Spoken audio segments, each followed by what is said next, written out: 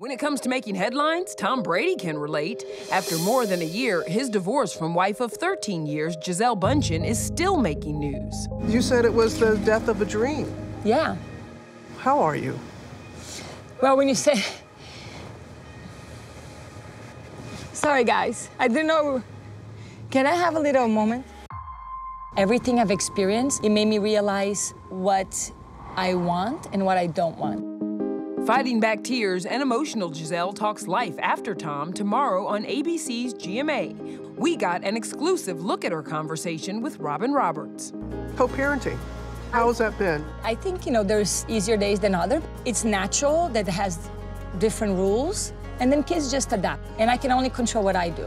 Tom is, has time with them, and I have time with them, and they get to learn from two different worlds. They're just the biggest blessing. Not a day goes by where you don't laugh and smile at something that they do. You gonna be able to open up your heart again to someone? Um, That would be a yes. Gisele's been dating jiu-jitsu instructor Joaquim Valente, and the source tells ET they, quote, connect on a deep level. at the end of the day, like if you're not truthful to who you are, then it doesn't work.